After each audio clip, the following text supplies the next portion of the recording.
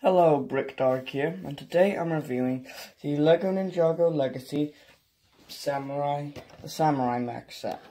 It has one minifigure, two skeletons, 154 pieces, and in the United States retails for $15, but you can probably get this for a little bit cheaper, like I did at Target.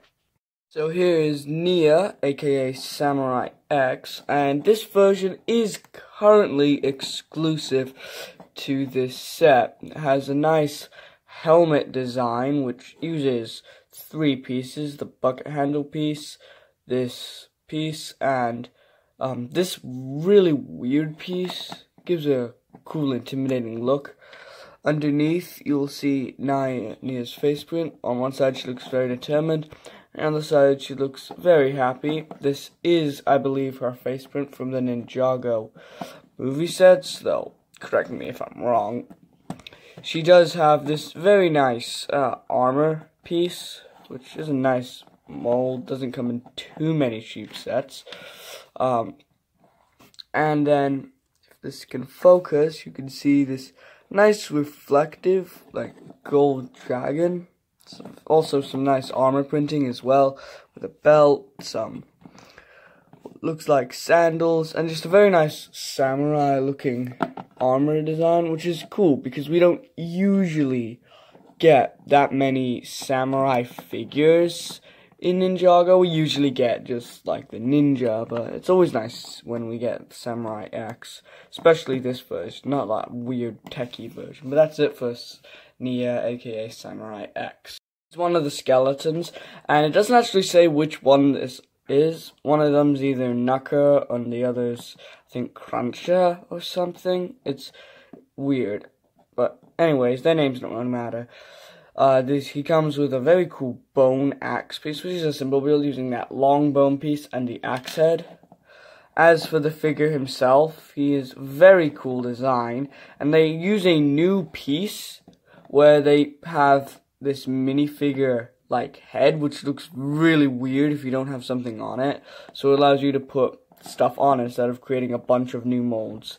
Um, he has this mohawk piece in tan, which may be exclusive to the set, I'm not too sure. Also has this nice armor piece. You can see a little bit of printing at the top there.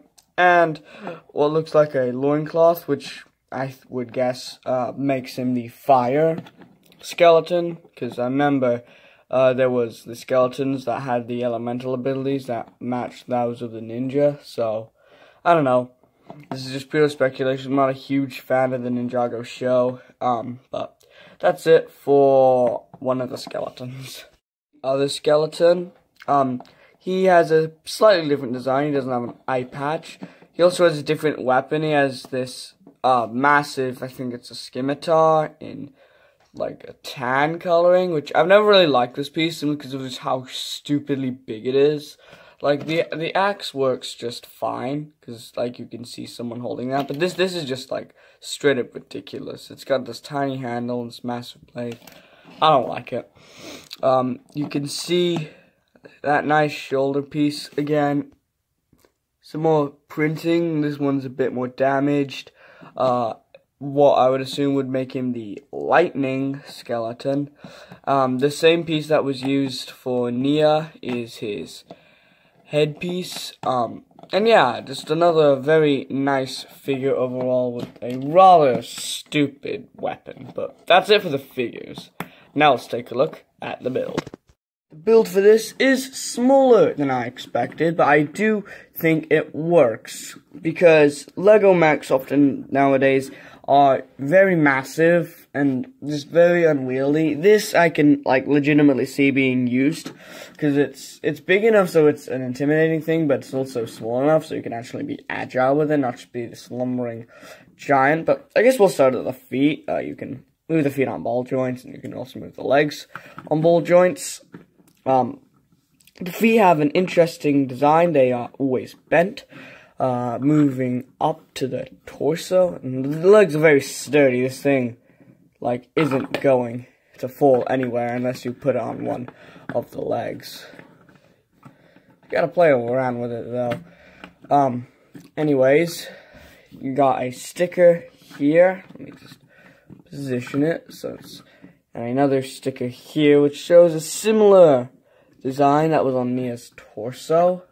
And this is the cockpit. If you want to get Nya in, just move that down. It's just attached via some clips and Nya just attaches via some studs in there. So it, it's a very simple way, but it also works very well. Um, now we get to the kind of part I'm not too keen on, which are the arms. I think the arms look very skinny.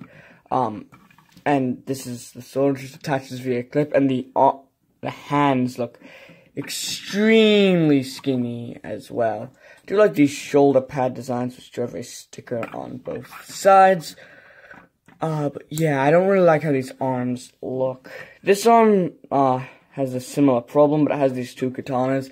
On the box, it shows Nya holding these two katanas, so this uh, offers a bit of playability. On the top, there are these stud shooters, which just uh, can move. The way those work, you can just push them down, and they shoot out the stud. Of course, a lot harder than that. And then the final part that I think we should take a look at is this flag up here. You can move it up and down, and it has a nice sticker on both sides. Um, and yeah, that's pretty much it for this build. It's a very nice build. Uh, it's it's sturdy, and it also represents what it's trying to capture. They managed. I used to didn't like this set, but I think I really do like it now because uh, it's a lot sturdier than the Golden Dragon, which is the other Legacy set I got, and it also is, um, I guess, just looks very like a nice design, like I said before. Smaller mechs like these, I like better than massive, mm, over-the-top mechs, because these are actually something that could be useful. You could be agile with them while also being like a tank. Those big mechs, just, at, the, at that point, it's just like Attack on Titan or whatever that anime is called. But yeah, that's it for the build. The set, let's take a look at the box and then some of the other paper material included box for this is, I think, like a battle pack box flipped up. So that's that's a cool design. On the back, it shows some of the features as well as where this appeared in the show. And as with all these legacy sets, there's this QR code which you can scan on your phone or something and watch, I think, some episodes of the Ninjago show, which I think is really cool. A lot of nice, like, side box art as well. Uh, overall, very nice looking box design. The instructions were bigger than I thought they were going to be. Um, on the back, it shows you uh, about how you can use the QR code thing, but it doesn't have any ads for the other sets, which is a shame, as this was a particularly good way for Ninjago.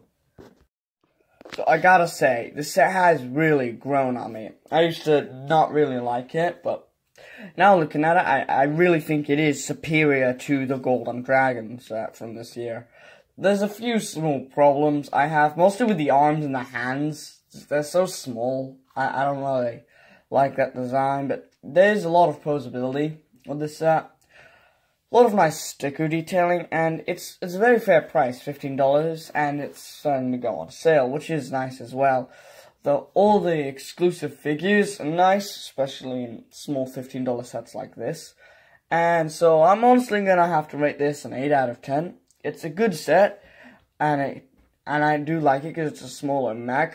Um, again, the arms, the hands, I'm kind of eh on, and this arm especially without the katana in it looks really bad. Um, but it's a $15 set, so I'll kind of let it pass. Other than that, though, there's not too much else I have to say about this. So, anyway, thanks for watching. See you guys later. Peace.